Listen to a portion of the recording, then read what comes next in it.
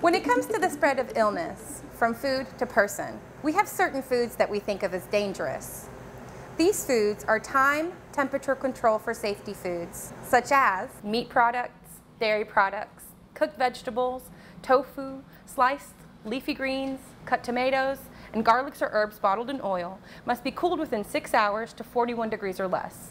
This is to ensure that these foods do not stay in the danger zone. There are two cooling stages for foods. The first stage is to reduce food from 135 degrees Fahrenheit to 70 degrees Fahrenheit within 2 hours.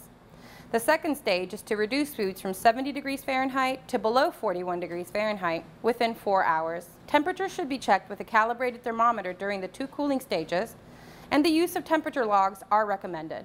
There are several safe and effective methods that you can use to cool foods quickly. You can use long, shallow pans to increase the surface area of the product, cut big portions of meat into smaller ones so that they cool more quickly. You can use ice as an ingredient, an ice bath or an ice wand to help you cool the foods more quickly.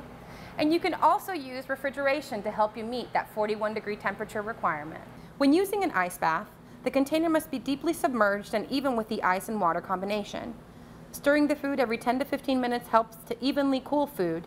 Similarly, an ice wand can be used to rapidly cool food.